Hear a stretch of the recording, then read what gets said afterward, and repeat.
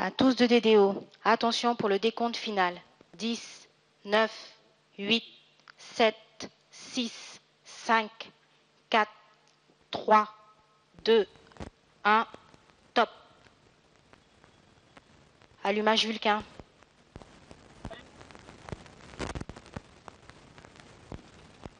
Allumage EAP. Décollage.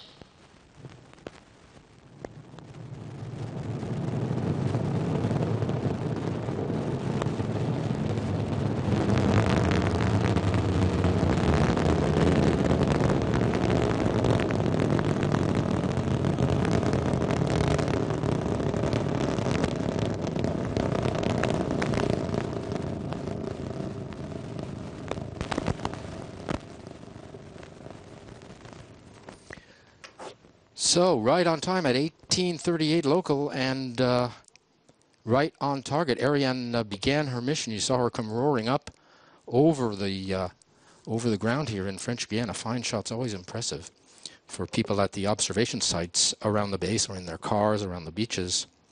774, 774 tons.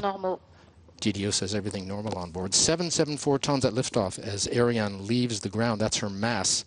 She's burning five tons of fuel per second. That's 2.5 tons in each booster.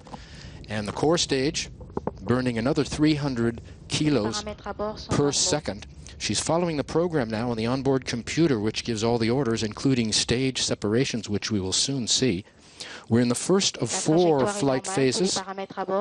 All is normal, she uh, says, the DDO.